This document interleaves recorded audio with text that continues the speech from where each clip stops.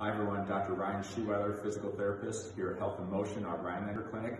Today we're going to talk about tightness, stiffness, and this trap area. A lot of people will have irritation in this area for neck pain, and they'll feel like they need to stretch or try to get that to loosen up a little bit more to calm down that irritation.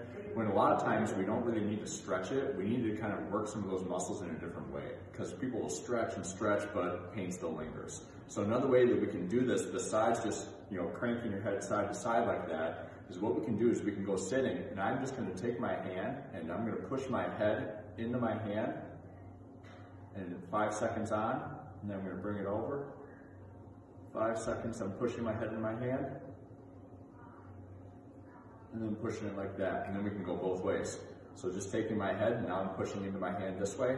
Five seconds on, relax.